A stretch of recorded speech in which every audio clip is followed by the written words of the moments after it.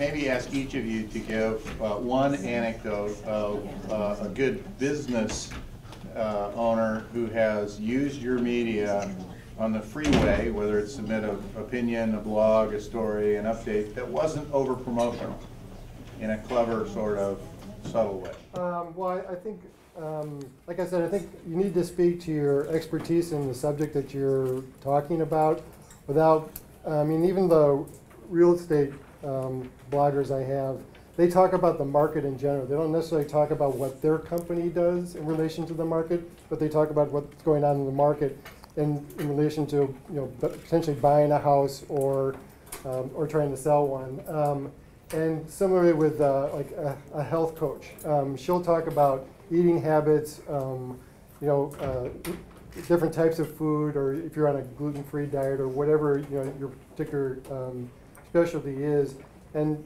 stay specific to that type of topic rather than saying this is what I do and this is what my company can do for you. I mean, I do allow them to, you know, obviously leave the link for their website so that people can go to their website from their blog, which I think is a great, you know, again, a great compliment.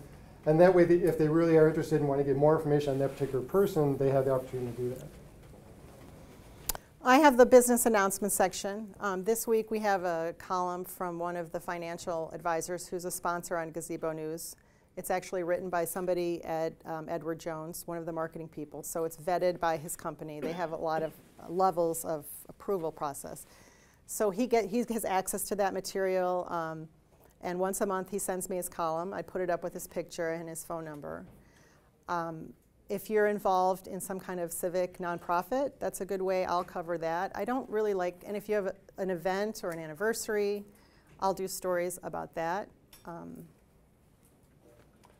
uh, we have a uh, columnist, Bob Gariano, who often covers local businesses. He's a executive search firm owner here in Lake Forest, so he would be a good person to contact. Uh, Julie Morse, a realtor in town, writes Realty Insights. She's always happy to hear any re uh, realtor news you may have. Also, uh, my email address is dsweet at pioneerlocal.com, and I often can put items from a business into our newsmakers section or news brief section. For instance, uh, if you have a record year in revenue, or if you have some new hires, or if you have a 75th anniversary coming up, all that sort of information is of interest to us. I work with a lot of political campaigns. Could you talk a little bit for each of your publications about what your policies are in regard to submissions from um, candidates or from their campaigns? Well, I don't do a lot on political campaigns. I'm a very small operation, and if I endorsed someone, I would lose half of my readers and half of my advertisers. So I will let you take it. I would just say, uh, Adrienne mentioned endorsements we used to endorse candidates. Uh, it was a decision of Sun-Times Media not to endorse candidates anymore, just so people know that. Uh, on the other side, I mean, we cover races, we cover primaries, and we'll cover the no November elections and so forth. Uh, press releases from candidates, if it sounds newsworthy, we'll run something on it, often a news brief, nothing more than that. But to be honest, a lot of what we re receive from the politicians, and I have one who sends me an item every day, it's obviously self-promotional and often mm -hmm. just not of general interest. And the League of Women Voters, they do a lot of work, which you actually, I think, are involved with. Political, and nonpartisan. Right, but I mean, they, they interview the candidates. I've put the links to their videos up because that's, that's just their information that's going straight out. Um, and that's so. valuable. That's, that's very valuable. Mm -hmm. Now, one thing we do offer, we have been doing since this past spring with the uh, primaries and stuff is uh, we have offered candidates the opportunity to blog on our site if they want to. Um, so, and then some have taken advantage of it, some haven't. Um, it's again, it's probably just a, either a function of time or, uh, but it's again, it's a complimentary uh, opportunity for them to use our platform to espouse their views.